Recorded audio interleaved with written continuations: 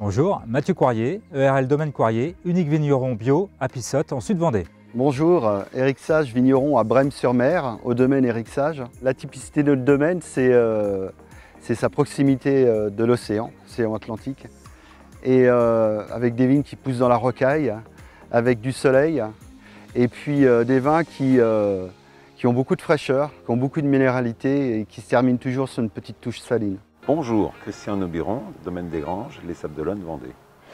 Bonjour, Delphine Nobiron, euh, domaine des Granges, euh, en agriculture biologique depuis euh, 2019 sur, euh, sur un petit vignoble viticole de 13 hectares en production.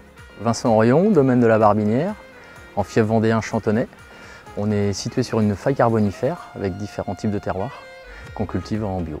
Bonjour, Bastien Mousset, vigneron à l'Orée du Sabia, à Brême-sur-Mer, en Vendée.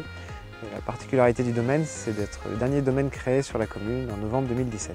Je suis euh, donc propriétaire d'un domaine à Mareuil-sur-Lay euh, qui a la particularité d'être sur une faille géologique qui est euh, en fait euh, le croisement de trois écosystèmes, le, le marais près de Vin, la plaine de Luçon et puis le bocage vendéen en fait. Et nous on est plutôt assis sur le bocage vendéen. Et euh, l'autre particularité c'est qu'on a un domaine qui est totalement en culture biodynamique.